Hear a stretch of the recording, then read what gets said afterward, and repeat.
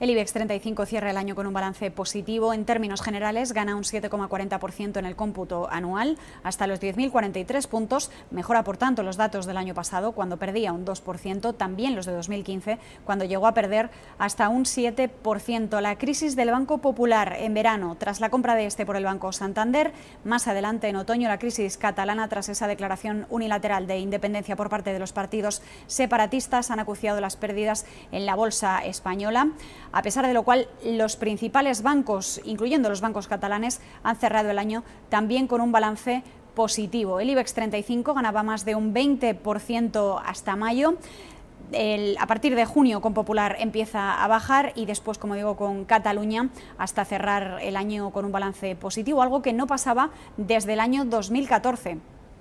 Dentro del IBEX 35, los valores que más han subido en 2017 han sido Celnex, ha cerrado con ganancias del 56,95%, seguido de IAG, ha ganado un 46,21%, y Avertis, que ha subido un 46,10% en bolsa en 2017. Por su parte, los valores más perjudicados del año han sido Técnicas Reunidas, que se ha dejado un 29,39%, Siemens Gamesa ha perdido un 28,58% y Mediaset se ha dejado un 12,55% en 2017. Si hablamos del resto de bolsas, en la última jornada antes de cerrar el año, tanto la Bolsa de Londres como la Bolsa estadounidense Wall Street han operado a media sesión y si cerraba la sesión del pasado jueves la Bolsa estadounidense con máximos históricos, el viernes 29 ha sido el turno de la Bolsa de Londres que ha cerrado con máximos históricos, ha ganado un 7,63%. El resto de parques del viejo continente han cerrado con pérdidas. Frankfurt suma un 12% en el cómputo anual, París avanza un 9,5% y Milán avanza alrededor de un 6%.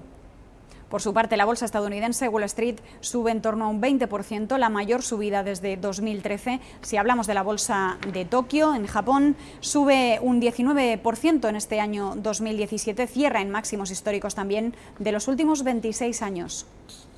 De vuelta a la bolsa española, el euro acaba 2017 también con un balance positivo, se cambia un dólar 20 centavos contra todo pronóstico, la mayor remontada desde 2013 en el mercado de materias primas. El barril de crudo Brent de referencia en Europa también cerraba el año al alza en el entorno de los 66,55 dólares por barril. Los analistas atribuían la tendencia alcista del crudo al optimismo de los inversores, dicen, tras el anuncio del gobierno chino de un aumento de las cuotas de importación de petróleo de cara a este próximo año 2018. Además, el Brent se ha revalorizado en torno a un 20% desde enero de 2017, sobre todo después de que la Organización de Países Exportadores de Petróleo, la OPEP, y otros países acordaran recortar su producción con el fin de equilibrar la oferta y la demanda en el mercado, un recorte que mantendrán, dicen, hasta 2018.